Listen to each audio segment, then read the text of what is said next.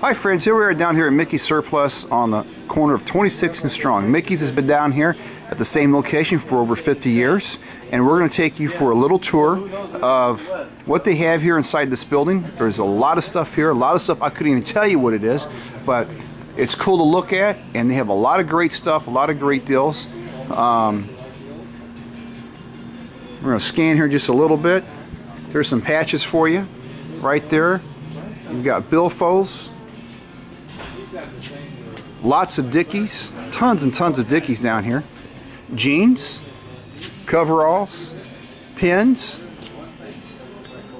all kinds of cool stuff. Even got a bobcat up there with the chain on his neck. I have no idea what that's all about. I'm not even going to ask. There's some big guns, look like a bazooka, all kinds of rockets, all kinds of cool stuff laying around. A lot of history here and a lot of good deals. If you're looking for some great stuff,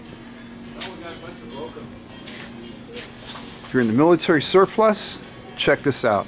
Here's just a selection of some of the stuff they have up here on their wall. We're going to kind of zoom in on some of these helmets. Kind of give you an idea of what they have going on here. A lot of stuff here, guys. Just tons and tons and tons of stuff. You're looking for dog tags, they have a dog tag machine. They use it's right there behind that